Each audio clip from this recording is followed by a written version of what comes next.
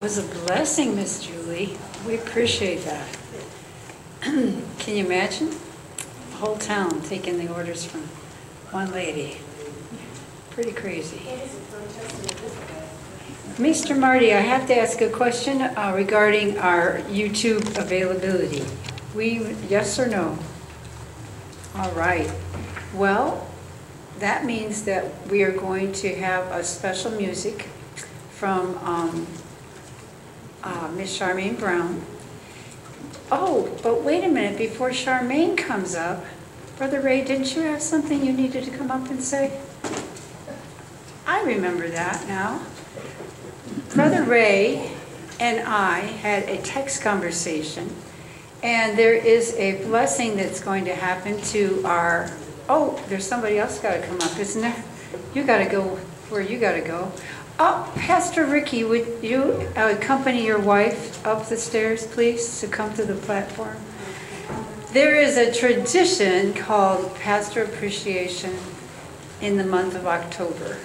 And uh, we want to appreciate, we want to let our, our, our parish leaders, Pastor Ricky, come on up, and uh, Judy, one of you come on one side of me and one of you on the other side, please, so that we can split you up here at the platform. And um, we just have a little token of our appreciation uh, that you can open up later. One's got a truck on it, Rick. We know you miss uh, Audrey's truck. No. and and you know the thing about it is that uh, we can't thank you enough. These people, uh, they rose up to the occasion that we needed a, a lay pastor. And so we thank the Lord for that. And um, when you appreciate somebody, you know, we talked about that in Sabbath school. Love is something you do. Well, I happen to know that both Ricky and Judy love not only this congregation, but they love this church and, and rebuilt and part of the rebuilding of the church. And we know that there's others, and because Dennis would bring up their names that helped physically to restore this building, but these two have uh, spearheaded it. But not only that, um, it's in the evenings when, on Friday night, when Ricky and uh, whoever is going to be the speaker the next day, he's so patient as this bulletin leader. He'll let us wait till the 11th hour, so to speak, to make a change in the bulletin, because, you know, lay pastor, you work, um, lay speaker, Ray works, Donovan works, and I work. And if you're going to be a speaker, you got to have time. So I don't even know how they do it, but I'm so thankful for everything you've done. I'm going to stop wandering on the same subject and pass the baton to uh, to Donovan. Donovan's going to speak next.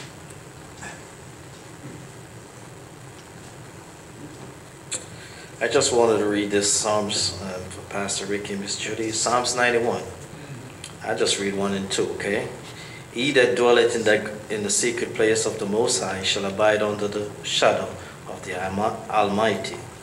I will say of the Lord, He is my refuge and my fortress, my God, in Him I will trust.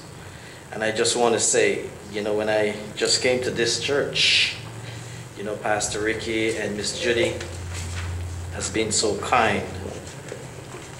Kind, and I know a lot of you out there can testify about that also, you know, to my family, you know, and they have extended more than what we could ever imagine, you know, and we love him and we appreciate him both. We appreciate you both for being so tender-hearted for this congregation. And you know, I tell you, when we came, we didn't have anywhere to live, and you know, we got this place and we wanted a fence around it. And Pastor Ricky came by one day and said, You need a fence around this permit? And I said, Yes. He said, I can do it for you. And I was like, That's a lot of work. And he said, No, I can do it for you, Donovan. And I said, Okay. So we did it, and we thank God for him just reaching out because that was a lot of money to do that. And to see him driving from New Smyrna every day. And we, we tried to do it for two weeks, but we went over, you know. But we thank God, and you know, and that shows me the love, you know, and other people in the congregation can testify about the goodness of Pastor Ricky Arts, you know, and his wife allowing him him to do that also is a privilege, an opportunity we have. And another thing, you know, I praise God for is, you know, the spirit of prophecy in the last days, you know, the lay leaders of the church is going to wrap this thing up. You understand I'm saying? There is no, not going to be anyone from the seminars coming out to save us. It's going to be the lay pastor who's going to hand this message. So we thank God for you, that you may continue to serve Him, and He may be your refuge and strength, both of you, in the time of need. We love you and we appreciate you.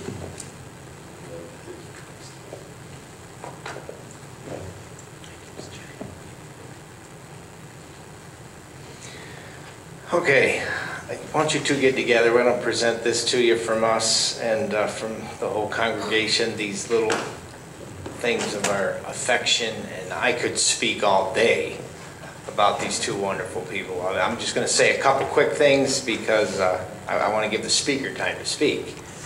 But it- it- if Miss Judy doesn't have the gift of hospitality, there's nobody on this planet that does. Okay?